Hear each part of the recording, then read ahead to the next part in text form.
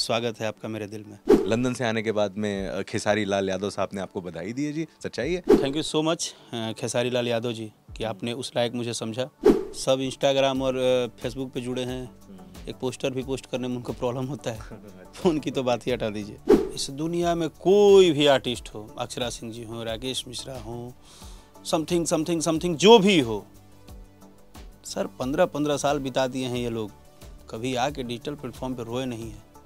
अगर किसी ने रो दिया सर तो कुछ तो उसके अंदर कष्ट है। धर्म दुबे जी आपको दिल से धन्यवाद मेरे तरफ़ से इसलिए है कि मैं प्राउड करता हूँ आपके ऊपर क्योंकि आप एक बहुत अच्छे अ, क्या बोल सकते हैं उसको रिपोर्टर के साथ साथ वक्ता के साथ साथ आप बहुत अ, दिल के बहुत अच्छे इंसान हैं।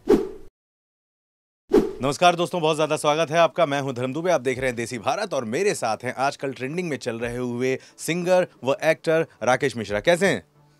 नमस्कार देसी भारत के सभी दर्शकों को दिल से धन्यवाद। दुबे जी को धन्यवाद और मैं बढ़िया हूँ। स्वागत है आपका मुंबई में।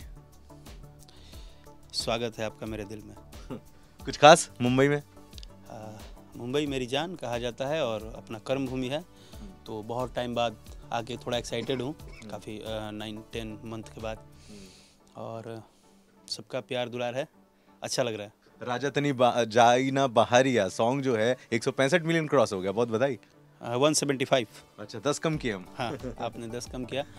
और मुझे बधाई मत दीजिए। मैं हमेशा बोलता हूँ बधाई उनको दीजिए देसी भारत पे जो हमें सुन रहे हैं और आपको देख रहे हैं। क्योंकि इनके बदौलत ये सब कुछ हुआ है। इसमें हमारा तो कुछ है ही नहीं। वाह क्या बात है। अच्छा एक बहुत बड़ी खबर भी मेरे हाथ लगी है कि भाई लंदन से आने के बाद में खेसारी लाल यादव साहब ने आपको बधाई दी है जी। सच्चाई है?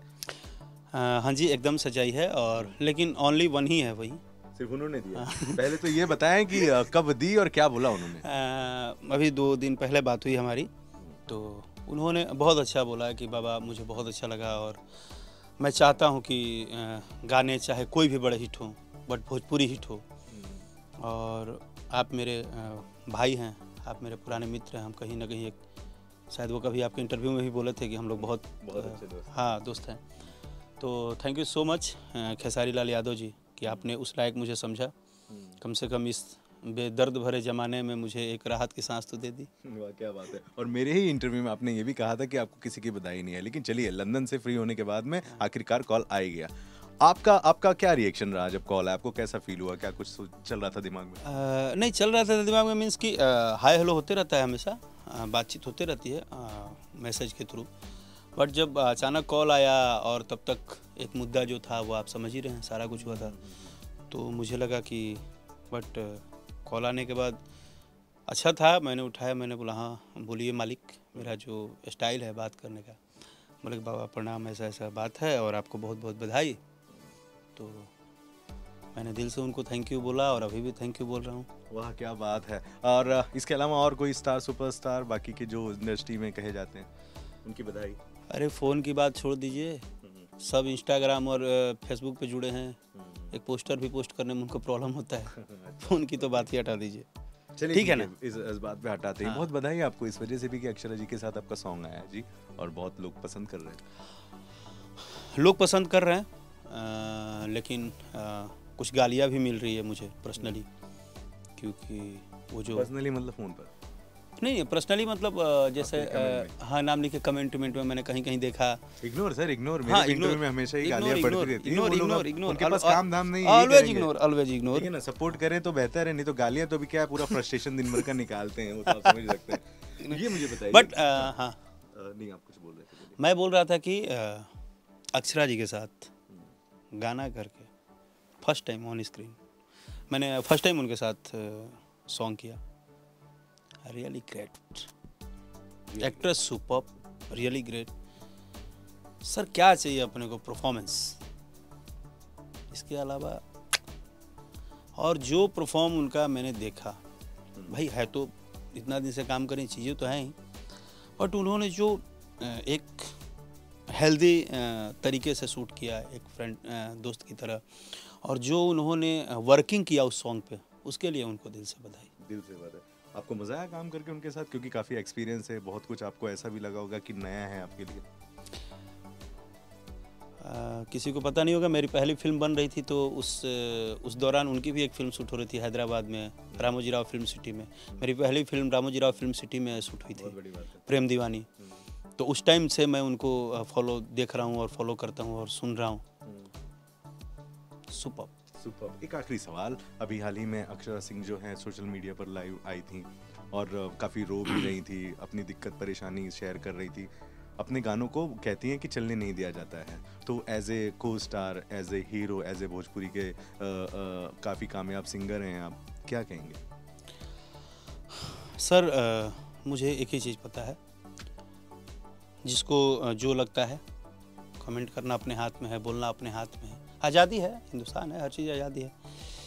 लेकिन सर इस दुनिया में कोई भी आर्टिस्ट हो अक्षरा सिंह जी हो राकेश मिश्रा हो समथिंग समथिंग समथिंग जो भी हो सर पंद्रह पंद्रह साल बिता दिए हैं ये लोग।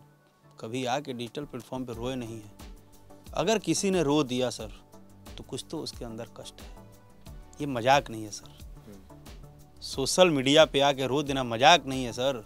ये मज़ाक नहीं है। ये बहुत टूटता है ना ये। ये बहुत टूटता है और बहुत लोगों का परेशानी और टॉर्चरिंग जब झेलना पड़ता है ना जब एकदम सच में लगता है कि अब अब क्या? तब जाके ये आह निकलता है। ऐसे तो हम दबते ही हैं ना रोज। दबाए रहते हैं दबाए रहते हैं दबाए रहते हैं। क्या करें? तो किस तरीके से इन चीज़ों को हटाया जा सकेगा? सर ये तो अब उसके हाथ में है जिसने हमें भेजा है धरती पे।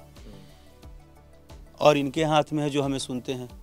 या तो इस चीज़ को ख़त्म एक ही आदमी कर सकता है, ये लोग जो देसी भारत को सुनते हैं, जो भोजपुरी के गीतों को सुनते हैं, जो भोजपुरी के सभी कलाकारों को प्यार देते हैं। अगर ये चाहेंगे तो जब सबको प्यार देंगे ना, उसमें अगर कटौती नहीं रहेगा तो सब जब एकदम मजबूती के साथ खड़े रहेंगे ना तो सारी चीज़ अपने आप ठीक हो जाएगी। क्योंकि यहाँ पे बैलेंस दूर कर दिया गया है ना, ये बहुत फिट हैं, ये नहीं है। क्वालिटी है, लेकिन नहीं है। तो इनको किया जाए ना। चलिए ठीक है राकेश भाई मैं जानता हूँ कि आप बहुत ज़्यादा व्यस्त हैं मुंबई में इस समय लेकिन मैं आपको निमंत्रण देना चाहता हूँ। मेरे स्टूडियो में आइए खुलकर बातें होंगी। बहुत शुक्रिया फ़िलहाल आज के इस बात के लिए। बहुत बधाई आपके निरंतर बढ़ रहे हुए करियर के लिए। आ, सबसे पहले धर्म दुबे जी आपको दिल से धन्यवाद मेरे तरफ़ से इसलिए है कि मैं प्राउड करता हूँ आपके ऊपर क्योंकि आप एक बहुत अच्छे क्या बोल सकते हैं उसको रिपोर्टर के साथ साथ वक्ता के साथ साथ आप बहुत दिल के बहुत अच्छे इंसान है। जरा बोल दीजिए मुझे भी गाली बहुत देते हैं लोग। नहीं नहीं वो देखिए उनका गाली प्यार है। हम्म। बट मैं तो आज भी एक ही रिक्वेस्ट कर रहा हूँ कि भैया नहीं लिखना चाहिए किसी के माँ बहन को गाली मत दीजिए आप लोग। मैं बार बार रिक्वेस्ट करूँगा क्या फ़ायदा? आपको कहाँ कोई कुछ बोलने जा रहा है? आप नहीं मान लीजिए मेरा गाना नहीं सुनते तो आपको बोलने जा रहा है? कहा नहीं सुनते हैं। तो नहीं बोलने का।